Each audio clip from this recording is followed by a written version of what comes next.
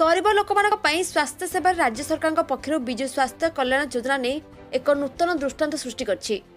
ତାହା ଅନେକ ରୋଗର ଚିକିତ୍ସା ପାଇଁ ନୂତନ ସ୍ମାର୍ଟ କାର୍ଡ ମାନ୍ୟବର ଓଡ଼ିଶାର ମୁଖ୍ୟମନ୍ତ୍ରୀ ନବୀନ ପଟ୍ଟନାୟକ ଗତ ଆଠ ଏଗାର ଦୁଇ ହଜାର ଏକୋଇଶ ତାରିଖରେ କଳାହାଣ୍ଡି ଜିଲ୍ଲାରେ ଲୋକାର୍ପଣ କରିଥିଲେ ଏବଂ ତାପରେ ପ୍ରତି ବ୍ଲକର ପଞ୍ଚାୟତସ୍ତରୀୟ ମାଧ୍ୟମରେ ସ୍ମାର୍ଟ କାର୍ଡ ବିତରଣ କରାଯାଉଛି ଏହି ଅବସରରେ ମାନ୍ୟବର ଗୃହରାଷ୍ଟ୍ର ମନ୍ତ୍ରୀ ଦିବ୍ୟଶଙ୍କର ମିଶ୍ରଙ୍କ ଦ୍ୱାରା ଆଜି ଗୋଳାମୁଣ୍ଡା ବ୍ଲକର ଉପସ୍ଥିତ ରହି ପ୍ରଥମে ମାନଝରି ଗ୍ରାମ ପଞ୍ଚାୟତ ବୃନ୍ଦା ବାହଲ ଦଶପୁର ଫରଙ୍ଗ ପଞ୍ଚାୟତ बरगुडा पंचायत पञ्चत रङसापल्ली पञ्चायत बड पंचायत पञ्चायत उक्त विजु स्वास्थ्य कल्याण स्मार्ट कार्ड सम्मानित अतिथि उपस्थित उपस्थितिले गृहमंत्री निज मुक्त हस्तु वितरण